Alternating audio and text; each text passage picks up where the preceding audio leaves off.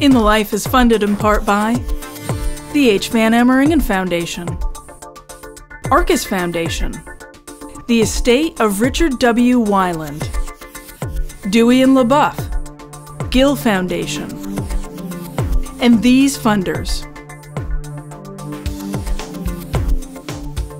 And by the annual support of In the Life members like you. 30 years after the first AIDS case was reported in the U.S., more than a million Americans are HIV positive. One in five don't know it, and 56,000 are newly infected each year. But if you only watched mainstream media, you would have no idea of the pandemic's ongoing impact. Tonight on In the Life, we look back at 20 years of HIV and AIDS coverage. And later, a frank discussion about HIV prevention and the National AIDS Strategy with the Reverend Charles King, CEO of Housing Works, and actress Harmony Santana from Gun Hill Road. We brought everybody together. Act up! And we're married. There was nothing for him to hide. Make a promise.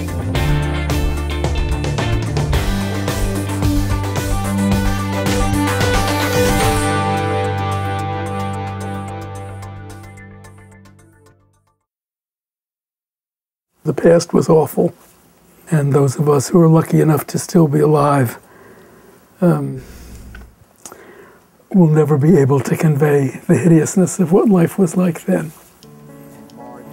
Most of my friends died, and people dropped dead all over the place. I remember the hospitals, and there were men lying on gurneys because they didn't have rooms for them, and their families had abandoned them, and people didn't know them. Everybody was dying. To this point now that only three of my friends from the 80s are still alive. I've lost everybody to this epidemic. We were going to more memorial services and funerals than birthday parties or celebratory events. It felt like there was this extraordinary crisis happening, and yet at the same time, nobody was paying attention.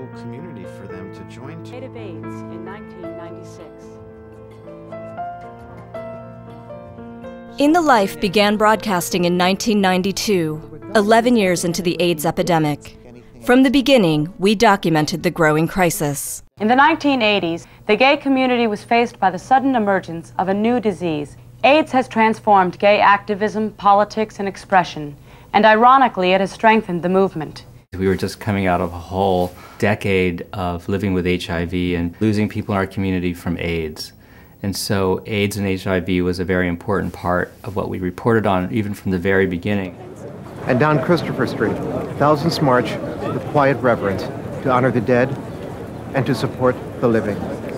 The media context for AIDS was always bracketed in inevitably fatal, dread disease, fatal illness, 100% fatal, no survivors, terminal illness the possibility of survival had been taken away from people with HIV. And while there was tremendous loss and incredible pain, there was also this phenomenally vibrant community of people who were leading their lives, even while they were also dealing with a life-threatening illness. I get up at 6.30 in the morning, you know, get myself something, you know, probably drink some coffee or so, and then I get them up at 7. Michelle found out she was HIV positive in 1991 and her six year old daughter, Raven, was diagnosed in 1992. So, In the Life from the beginning recognized that people with HIV also had other lives. They were more than their disease and has reflected the richness of so many of our lives in a way that it took a long time for other media to, to catch up with. You know, in the beginning, the HIV AIDS crisis really prompted the gay community, thank God, to show real leadership and say, this is a crisis, it's affecting our community, damn it, we're going to do something about it. And when the government would not even say the word AIDS, really challenging the government to begin funding. In response to the government's lack of action, activist Larry Kramer founded ACT UP to demand that the government and the public pay attention. But now, harder than ever, we must act up, fight back, fight AIDS.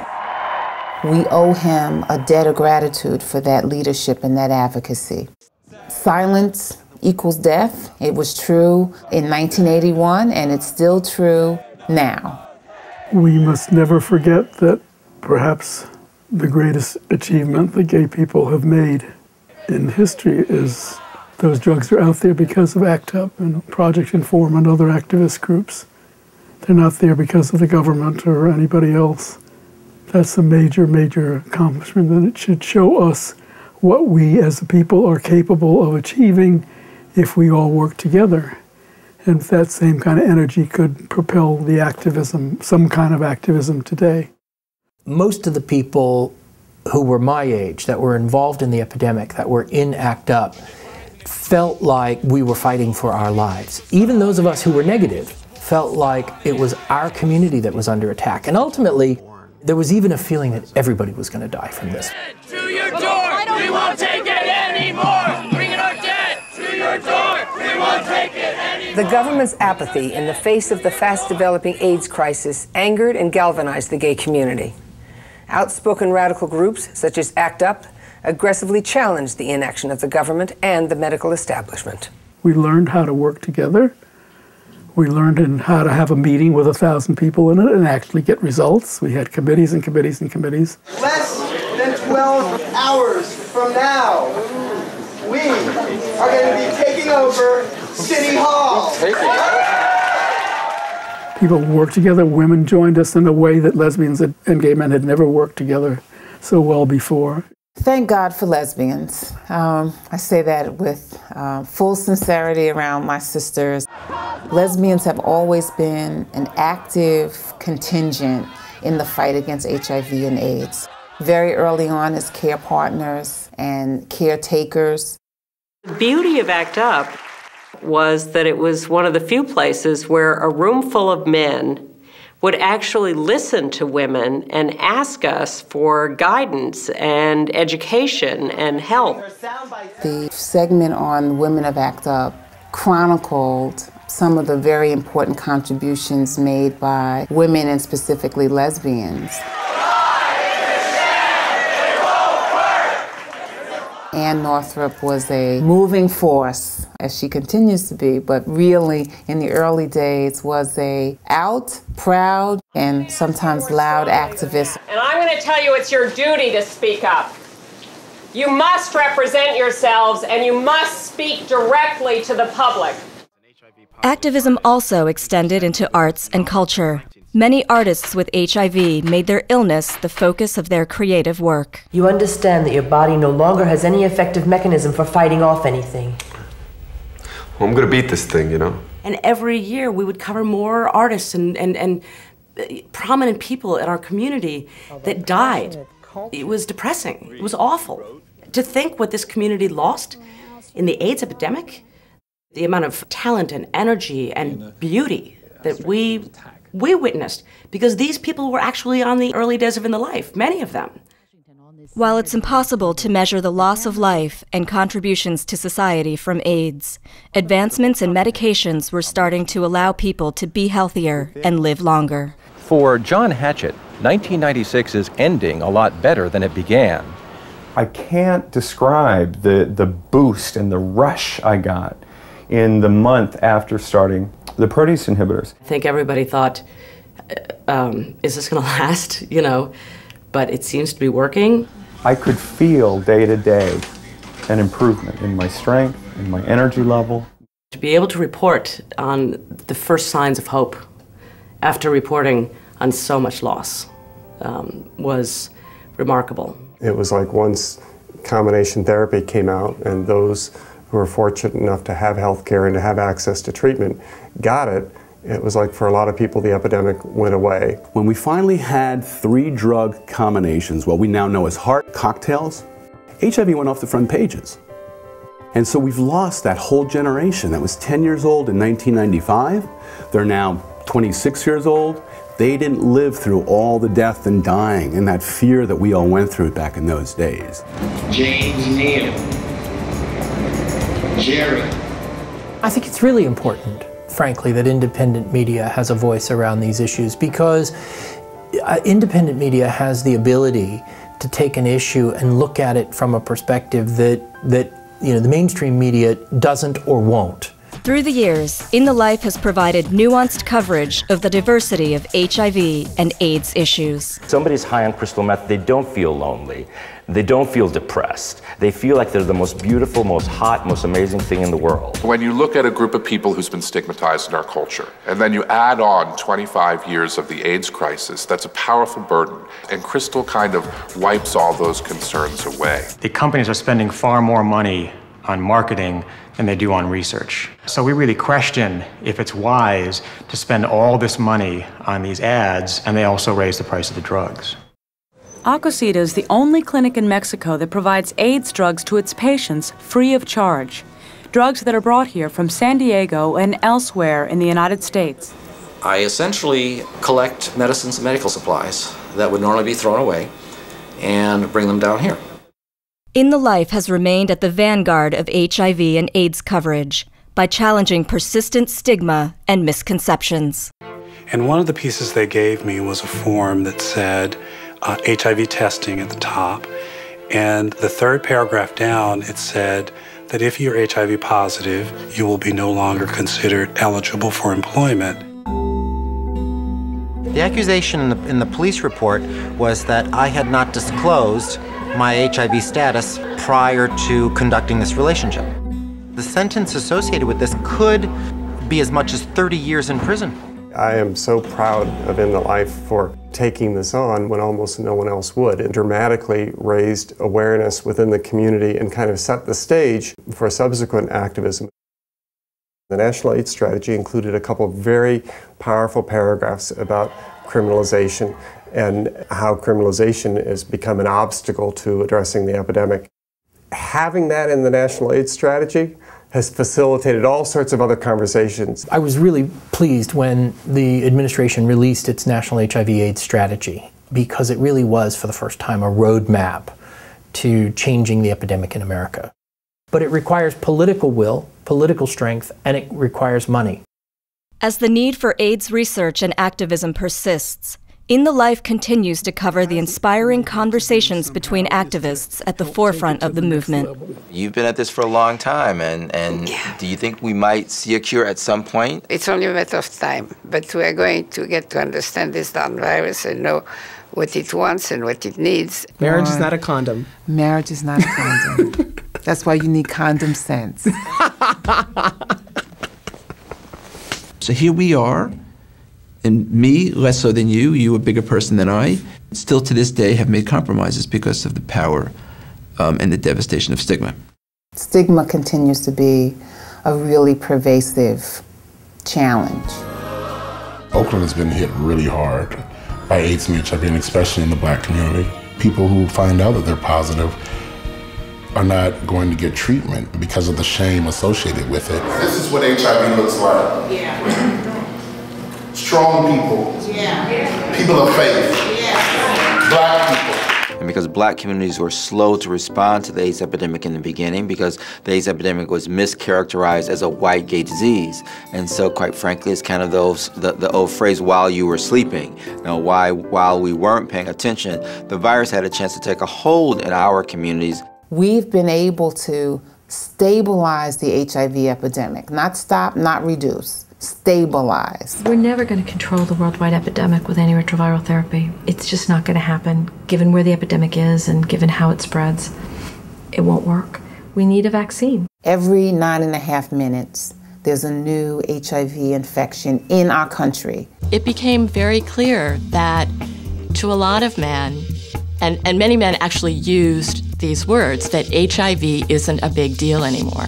Well educated men believed that HIV was curable and that taking uh, antiretroviral therapy would prevent them from transmitting it. Uh, you know, over the course of really 25 years, we went from, you know, average life expectancies that were in the months to today where people are living decades with this disease. I don't know how you bring back the urgency. People die all the time from HIV and HIV related conditions. How can we get the message out to 13 to 29 year olds. Now we're looking at how do we begin to get testing into venues that are not considered traditional venues.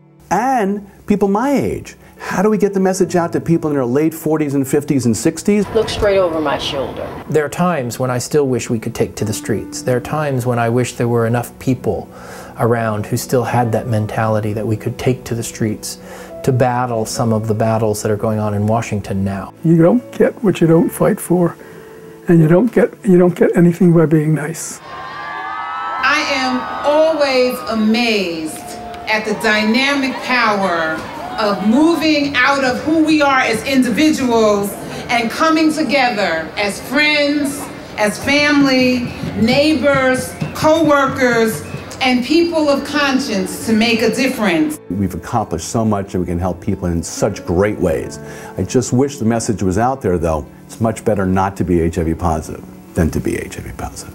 Enough time has passed from the worst of the epidemic that people can look back and process grief and think about what that time meant. We need to understand how easily it can happen again and how in ways it is still happening. If there is a silver lining to this epidemic, it is perhaps that it empowered the gay community in a way that I can't imagine anything else could have.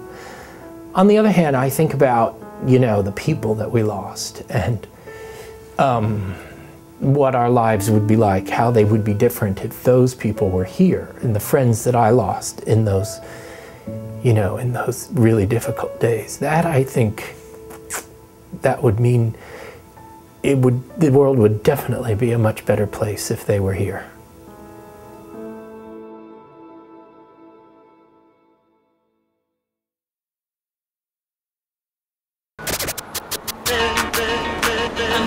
In the 2011 film Gun Hill Road, Harmony Santana gives an inspiring performance as 16 year old Michael, a teenager in the Bronx undergoing a transformation just as her father returns home from prison. It ain't like I never caught class before, but don't lie to me. Kike, you can't just follow me around, Papi. Sit down. I don't go following you around. What's up with your hands, man? Put your hands down and talk to me like a man. I didn't raise you to be like that. You didn't raise me. You can't just come in here and try to be Papi now. Harmony drew on her past experience as a homeless teen for the role. She is part of a new generation of LGBT activists who are coming of age three decades after the AIDS epidemic began. Representing an earlier generation of activism, the Reverend Charles King is a Baptist minister and a relentless advocate for ending the dual crisis of homelessness and AIDS. He is the CEO of Housing Works. If you ever asked yourself what Housing Works is all about, this is it. Known for its thrift stores around New York City, Housing Works was founded in 1990 as an advocacy, service, and social enterprise organization for people living with HIV and AIDS. Charles and Harmony came to In the Life Studios to discuss advocacy, HIV, and their work. So, Harmony, I understand you were discovered for Gun Hill Road while you were Mhm. working as a volunteer at the Queen's Pride Parade. I used to work for Harlem United and Bronx AIDS Services, HIV prevention and things like that. And I was a peer educator. I was handing out condoms and flyers, trying to get people to get tested. And Rashaad came by with a flyer for the movie. And I stood up, I was like, well, can I audition? So I went in, auditioned. He told me to come back a second time as a girl because at the time I was dressing as a boy still. And he told me I got the role. That's great. Had you done any AIDS activism before your work as a Um, peer?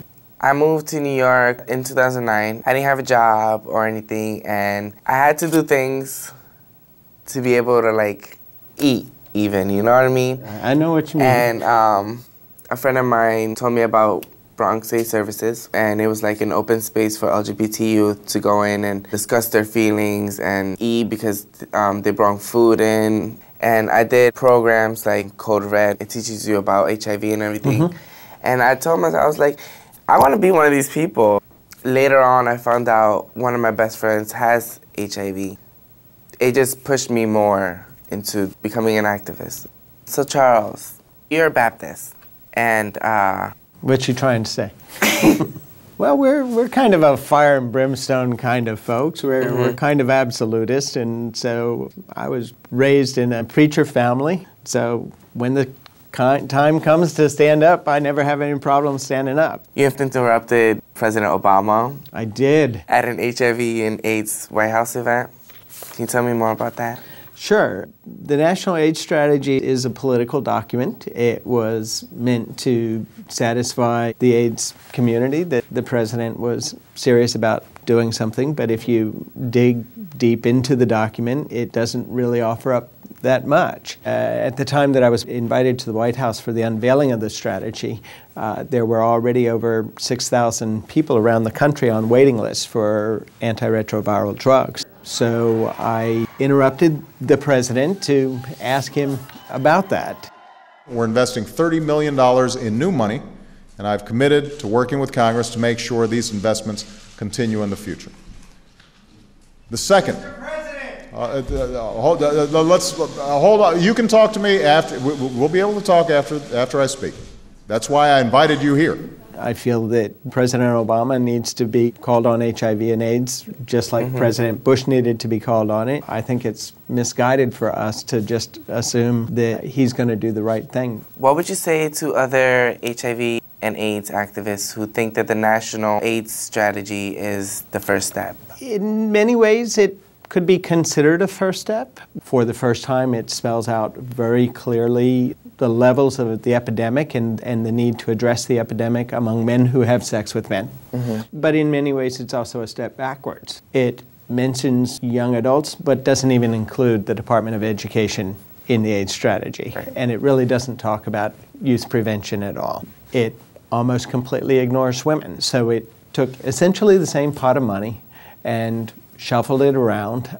To me, that's not a real strategy to end mm-hmm. the epidemic. And in fact, at best, it's a strategy to maintain the epidemic. Why do you feel there's so little funding for HIV and AIDS prevention?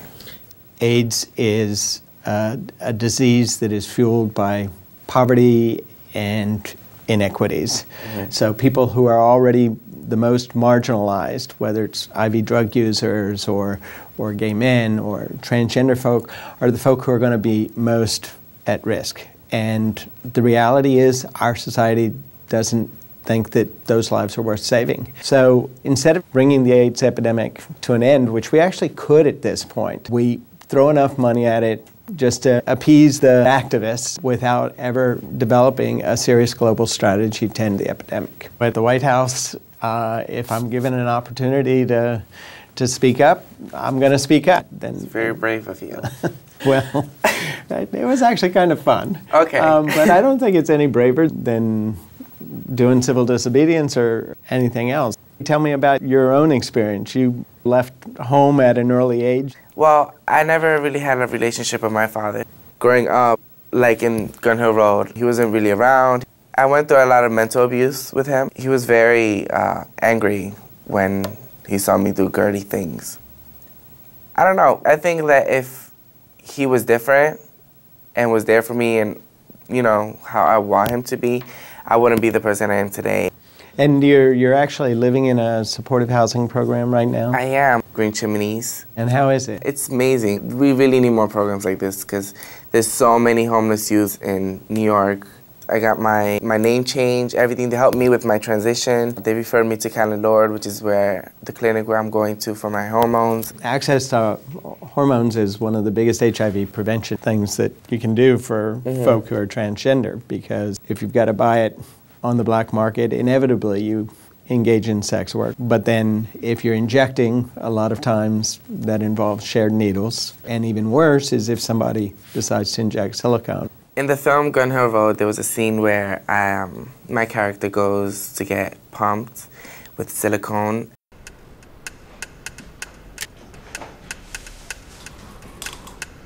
And it gets hormones from like the black market.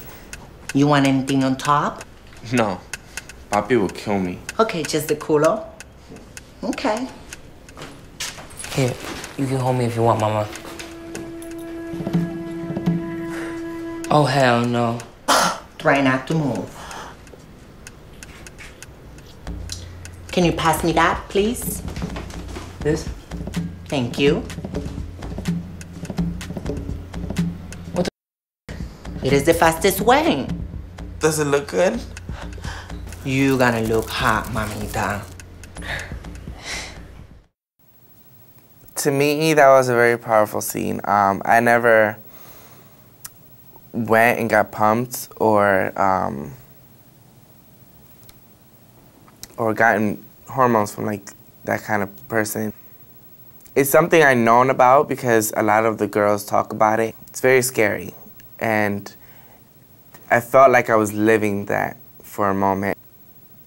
Just knowing that HIV can be transmitted through like sharing needles, I'm proud of putting that out there. Um, I'm proud of being in that scene. I'm proud of showing the world what transgenders go through. Well, I think one of the things that this speaks to is that there's just a, an incredible lack of awareness about transgender issues. This winter, in January, February, we're going to be doing trips up to Albany. We'll be organizing for the Gender Identity and Expression Act, uh, Transgender Rights Bill statewide. Uh, how about you come I up would with love us? To. okay. I would love to. We need to raise a, a new generation of, of young activists. And Right. that's why I think you're, you're such a great role model. Here I am, I'm in my mid 50s and been around doing this and look like somebody's grandpa.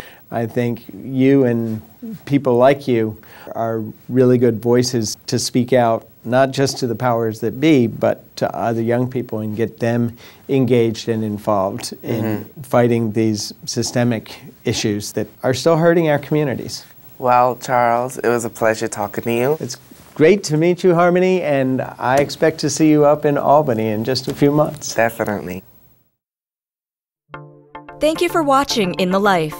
To watch more historical coverage from the last 20 years of In the Life, visit our website at itlmedia.org. You know, In the Life is a really wonderful gift to the community, and I think sometimes, like many gifts, people don't fully appreciate them. In the Life um, always has included HIV and AIDS as part of the, unfortunately, but part of the fabric of the LGBT community. We both hope for the day when that's no longer the case, but that's not today.